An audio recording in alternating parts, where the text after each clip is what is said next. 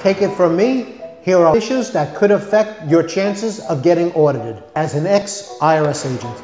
Number one, discrepancies or errors. Make sure you report all your W-2s, 1099s, 1098s that you receive because the IRS also gets a copy of them and report them on your tax return correctly.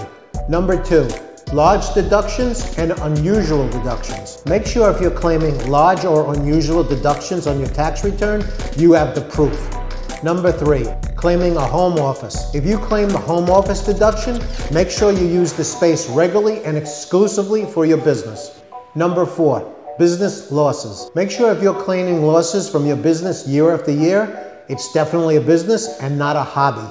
IRS does not like hobbies and all your expenses will be thrown out. Number five, large cash transactions. If you have reported a large cash transaction, which is not consistent with all your other income, it may be a red flag.